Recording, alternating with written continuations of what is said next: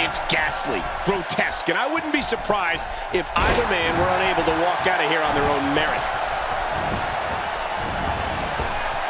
Oh, what devastation. Camel clutch locked in, wrenching on the neck and lower back. I don't believe the destruction we're seeing. This guy's just going from one painful move to another. Man, somebody's going to be sore in the morning. I'm not sure I can watch this. His midsection taking a lot of damage here. Well, let's quickly get your opinion on Andre the Giant. Hey, the shoulders are down. Oh, this monster of a man walks his own path and is so devastating that any move from him can end a match or a career.